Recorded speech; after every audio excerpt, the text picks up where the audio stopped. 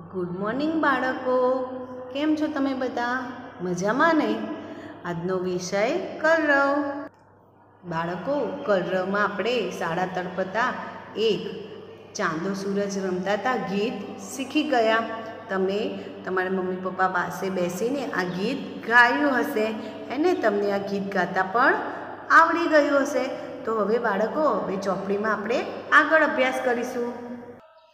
ગીત ગાયા પછી તમને બીજા પત્તામાં, બીજા પેજ પર જુઓ. પહેલાં આપણે સૂચના વાંચીએ. શું છે? ચિત્ર જુઓ અને જવાબ આપો. બાળકો, અહીંયા એક ચિત્ર આપ્યું છે. શેનું ચિત્ર આપ્યું છે? તમને બધાને ખબર છે શેનું ચિત્ર છે? જુઓ. આ શેનું છે? ઘરની અંદર એક રૂમ હોય ને, એક ઓરડો. એનું ચિત્ર છે. પણ કયો ઓરડો? કયો રૂમ કહેવાય? ટીવી ક્યાં હોય? આ રીતના સોફા ક્યાં હોય? તમને બધાને થોડો ખ્યાલ પણ આવી ગયો હશે. ક્યાં હોય? હા ડ્રોઈંગ રૂમમાં આપણે દીવાનખંડ કહીએ છીએ. હે ને? તો ડ્રોઈંગ રૂમમાં ટીવી હોય, આવા સોફા હોય ફોટો ફ્રેમ હોય, પંખો હોય, અને સરસ મજાના વાંસ હોય, ફૂલદાની હોય ને? આવી સરસ મજાની બારીઓ હોય, પડદા હોય, પછી ટીવી મૂકવાનું સ્ટેન્ડ હોય આ બધું આપણા દીવાનખાનમાં હોય. અને શું કહેવાય, આપણે ડ્રોઈંગ રૂમ કહીએ છીએ, હે ને? તો આ ડ્રોઈંગ રૂમનું ચિત્ર છે.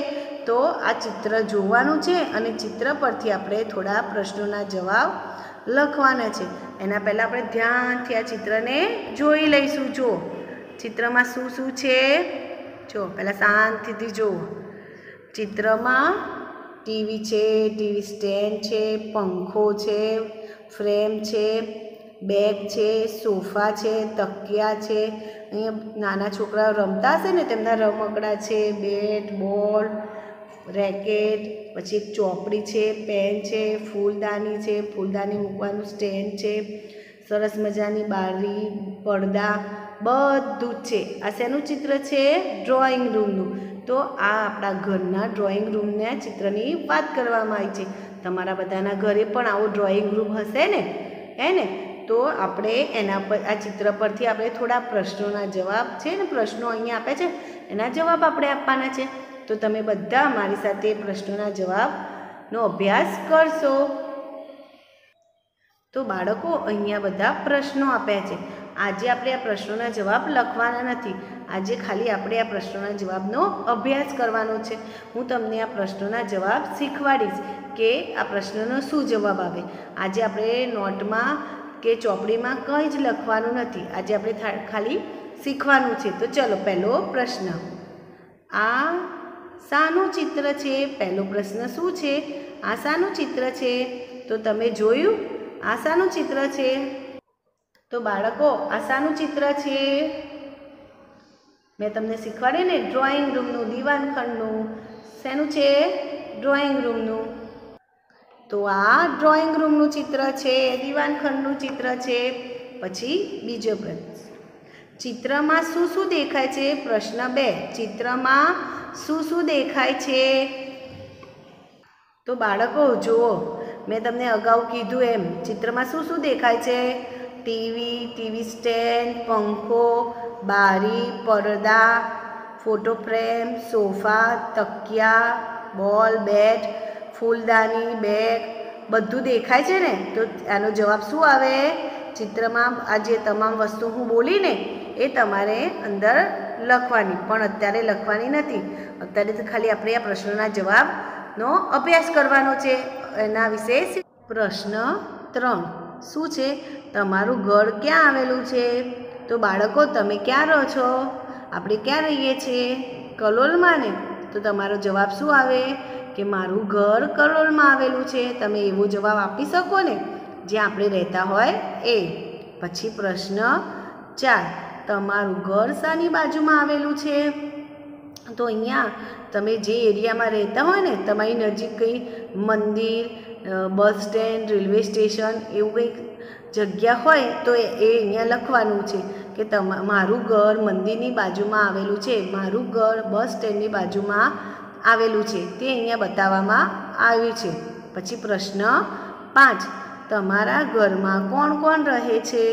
તો બાળકો, અહીંયા તમારા ઘરના સભ્યો હોય ને એટલે તમારા પરિવારમાં જે જે સભ્યો રહેતા હોય ને, એના વિશે વાત કરવામાં આવે છે. તો તમારા ઘરમાં દાદા, દાદી, મમ્મી, પપ્પા, ભાઈ, બહેન, કાકા, કાકી, આ રીતે જે પણ માણસો રહેતા હોય, તમારા ઘરના સભ્યો રહેતા હોય, એના વિશે વાત કરવામાં આવી છે. તો તમારે અહીંયા એ રીતે લખવાનું છે. પછી પ્રશ્ન છ. તમારા ઘરની કઈ કઈ વસ્તુ તમને ગમે છે? તો બાળકો, અહીંયા તો તમને ગમતી જે જે વસ્તુ તમને ગમે ને, તમારા ઘરમાં તમને સૌથી વધારે શું ગમે? તમારા ઘરની અંદર સરસ મજાની ફૂલદાની હોય, તો તમને ગમતી હોય તો એ લખવાની. સરસ મજાના ફોટો ફ્રેમ બધી જુદી જુદી ફોટો ફ્રેમ હોય, તેમાંથી તમને કોઈ ફોટો ફ્રેમ ગમતી હોય, એ લખવાનું હોય, સોફા ગમતા હોય તો સોફા. તમને કંઈ પણ ગમતું હોય ને તે અહીંયા લખવાનું છે. તો શું પ્રશ્ન છે? તમારા ઘરમાં કઈ કઈ વસ્તુ ગમે છે? તો તમને જે ગમતી હોય એ અહીંયા તમારે અહીંયા લખવાની છે. પ્રશ્ન સાત. પંખીના ઘરને શું કહેવાય છે? પંખીના ઘરને માળો કહેવાય. તમને બધાને ખબર હશે, પંખીઓ ક્યાં રહે? માળામાં. તો પંખીના ઘરને શું કહેવાય? માળો. પછી પ્રશ્ન આઠ. ઘરનો હોય તો શું થાય? બોલો. તમને બધાને ખબર પડવી જોઈએ, હે ને? બધાને ખ્યાલ આવી ગયો હશે ઘર ના હોય તો આપણે શું થાય? આપણી પાસે ઘર ના હોય તો શું થાય? અત્યારે કઈ સિઝન ચાલે છે? કઈ ઋતુ ચાલે છે? ચોમાસું. જો આપણી પાસે ઘર ના હોય તો ધોધમાર વરસાદ પડતો હોય તો આપણે શું થાય? શું થઈએ આપણે પલળી જવાય. પછી બહુ ઠંડી પડતી હોય, હે ને? તો બહુ ઠંડી પડતી હોય ને આપણી પાસે ઘર ના હોય તો શું થાય? બહુ ઠંડી લાગે ને? તો ઠરી જવાય ને બીમાર પડી જવાય. અને પછી ચોમાસા પહેલાં શું હતું? ગરમી. તો આપણા પાસે ઘર ના હોય અને બહુ જ બધી ગરમી પડતી હોય, તો આપણે કેવું થાય? આપણું શરીર બળી જાય ને ગરમીથી. તો આપણે કેટલો બધો તાપ લાગે? તો ઘર ના હોય તો આપણે ઘણી બધી તકલીફો પડે. હે ને? તો અંદર શું લખવાનું? કે ઘર ના હોય તો ઠંડીમાં ઠંડી લાગે, ચોમાસામાં પલળી જવાય, ઉનાળામાં ગરમી લાગે.